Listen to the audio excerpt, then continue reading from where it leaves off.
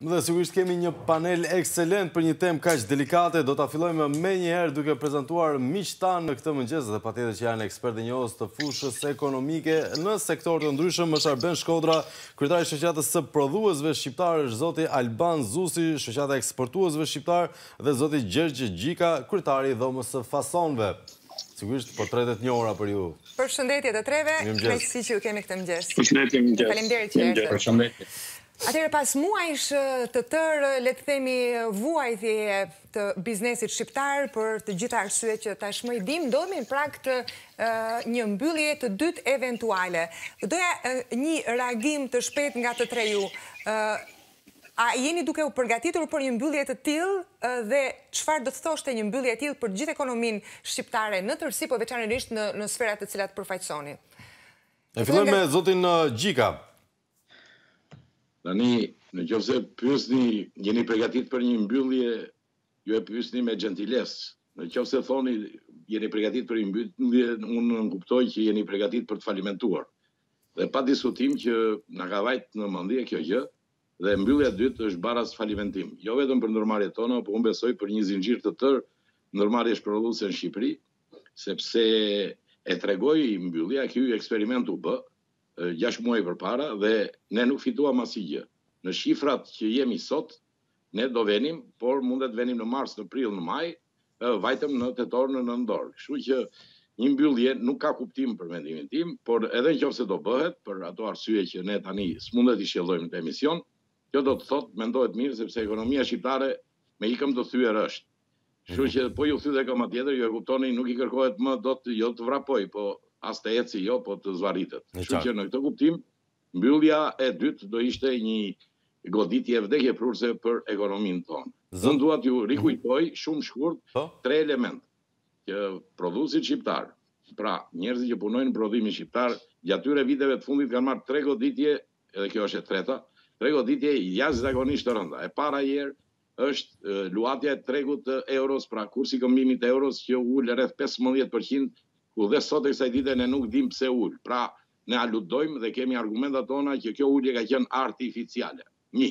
E dyta, tërmeti i jashtëzakonshëm dëmtoi shumë bizneset tona në zonën ku ra çuditërisht përputhet me zonën më produktive dhe më prodhuese të Shqipërisë, dhe ajo e dëmtoi në mënyrë të jashtëzakonshme, dhe e treta, pandemia e pakuptimtë edhe e padëgjuar, ne e dimë që kjo ndodh një herë në njëqind vjet, na qëlloi neve ky njëqindvjeçar, e cila tashmë, ju e kuptoni dhe vetë, ka dhënë efektet e veta negative edhe në ekonominë tonë.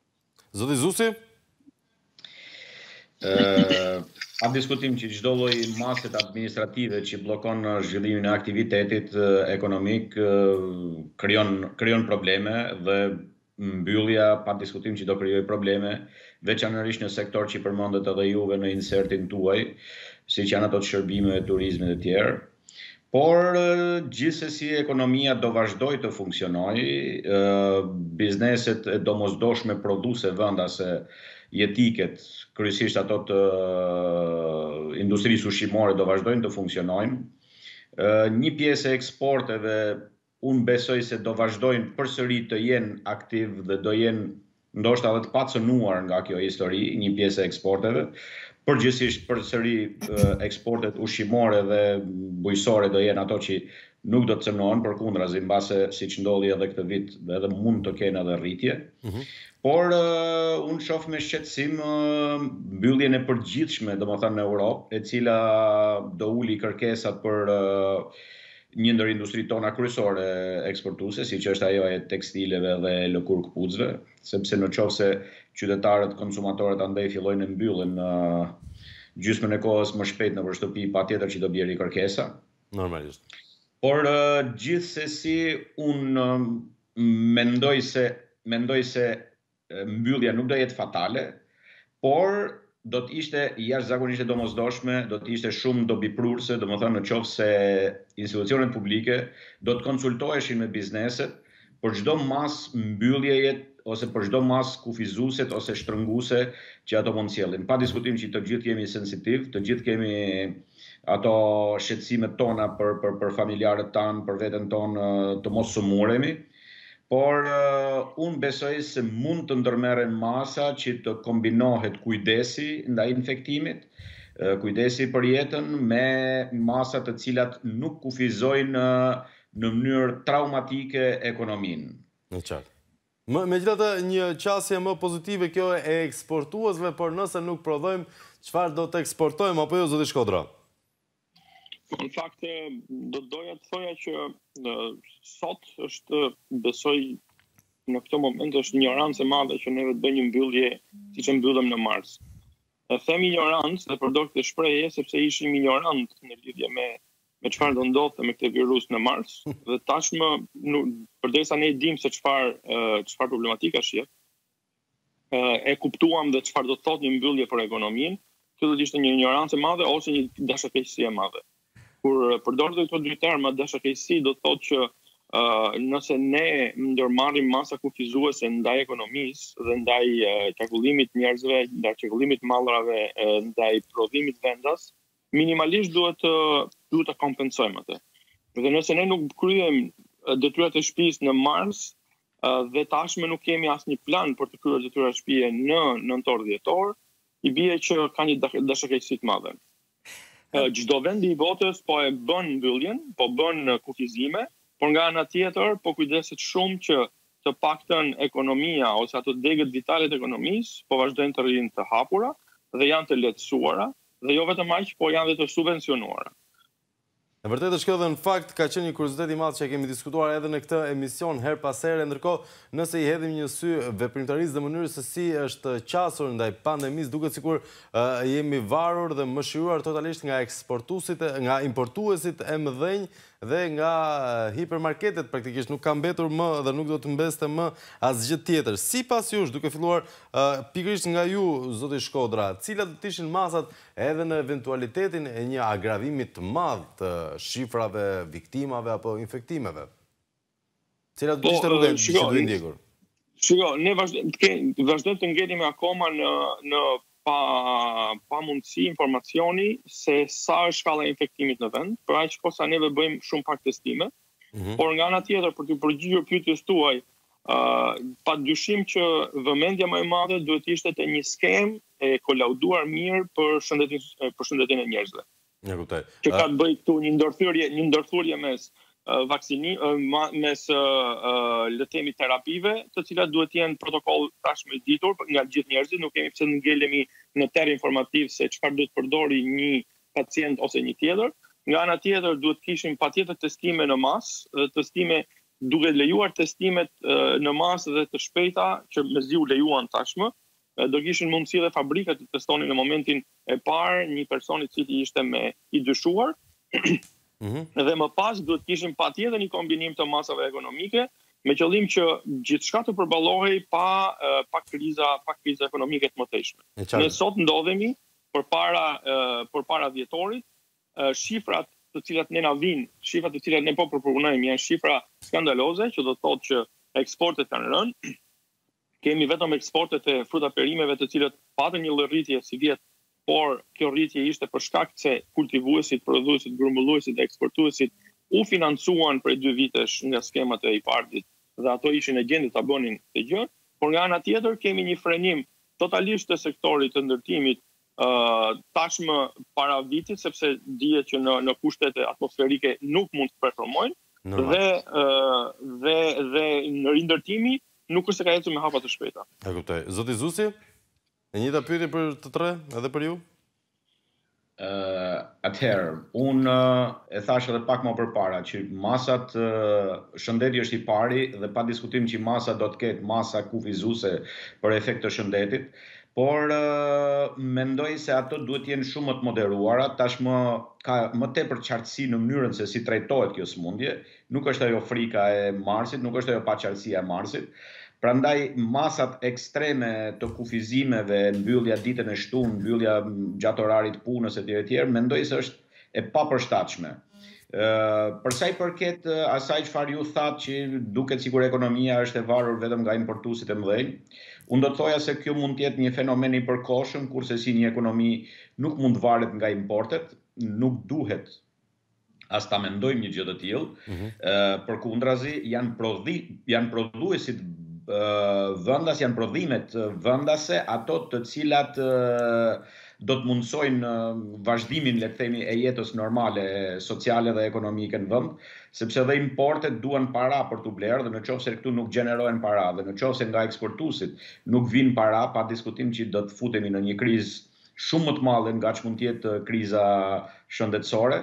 Prandaj, unë mendoj se Kufizimet, kufizimet siç po bëhen deri tani të moderuara le të themi mund të jenë të arsyeshme, nuk duhet të shkojmë në kufizime të thella, ndërmarrjet vetë edhe punonjësit vetë janë ndërgjegjësuar, ne kemi ndërmarrje me mbi njëqind punëtorë ku punëtorët menjëherë sapo kanë shenjat e para të të Covidit menjëherë vijnë, lajmërojnë, vetë izolohen, fillojnë marrin trajtimin, shërohen, rikthehen përsëri në punë.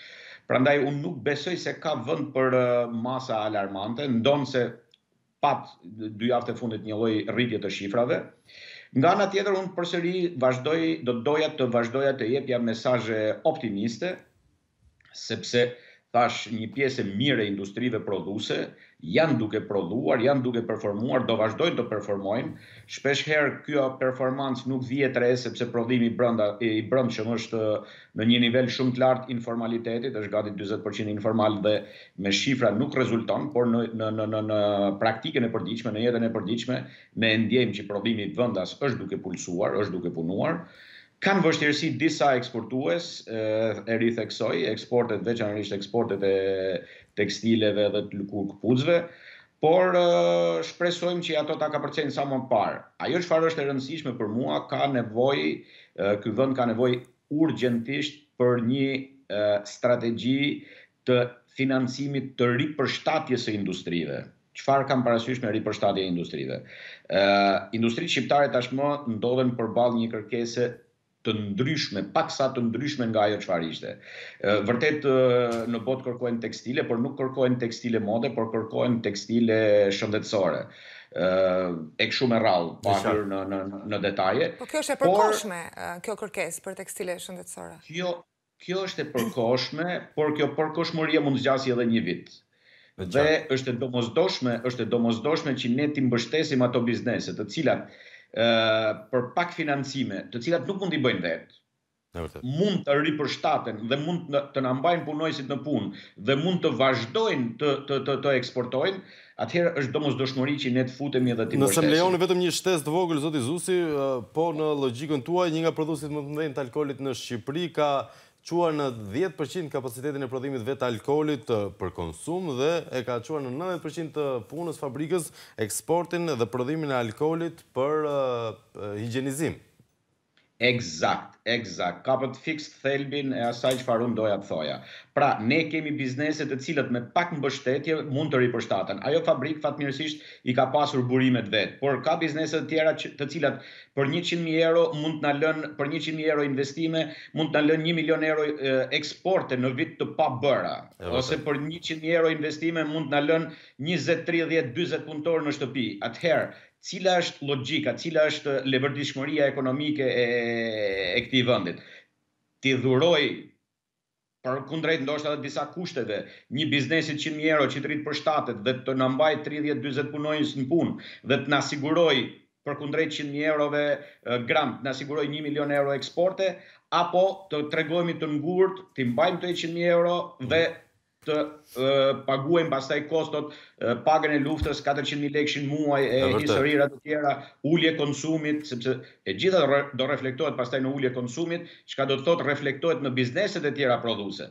Prandaj është e domosdoshme të fillojmë menjëherë një strategji të përshtatjes e cila do të kërkonte konsultim kokë më kokë me çdo biznes. Çfarë ke nevojë, për t'u ripërshtatur në kushtet e reja të kërkesës së re. Dhe në kushtet e reja që jemi, zoti Gjika ju jeni dhe prodhues dhe eksportues dhe punëmarrës në shifra të hatashme.